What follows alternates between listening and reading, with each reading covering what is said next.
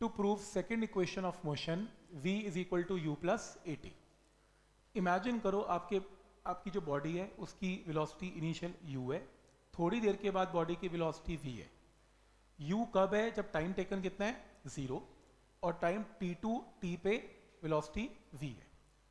Distances में या displacement बोलना चाहिए, इसमें s है। एक्सलेशन a है जो कि कांस्टेंट है।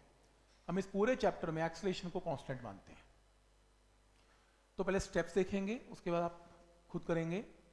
एक्सलेशन क्या होती है instantaneous dv by d cross multiply किया। लिमिट लगाएँगे।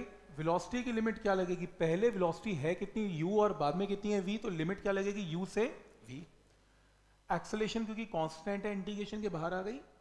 टाइम की लिमिट क्या लगेगी? ज़ीरो से t तो वन डीवी की इंटीग्रेशन क्या है? V जैसे वन डी एक्स की एक्स कहाँ से कहाँ? यू से वी। और वन डी टी की टी ज़ीरो से टी। एक बार वी की जगह अपर लिमिट एक बार वी की जगह lower limit V minus U एक बार टी की जगह अपर लिमिट एक बार लोअर लिमिट तो V is equal to U plus at तो क्या ये स्टेप सबको क्लियर है?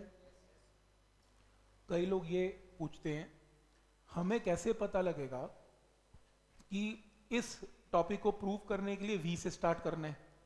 इस टॉपिक को प्रूव करने के लिए ए से स्टार्ट करना है, क्योंकि इसमें एक्सलेशन की ज़रूरत है। ये याद करना पड़ेगा, आपको समझना पड़ेगा, उसके बाद तो कोई दिक्कत ही नहीं है। तो इसको प्लीज़ रजिस्टर में एक बार अपने आप करके देखो, पहले स्टेप्स चेक करो, उसके बाद खुद एक बार ड्राइव करके देखना है आपने।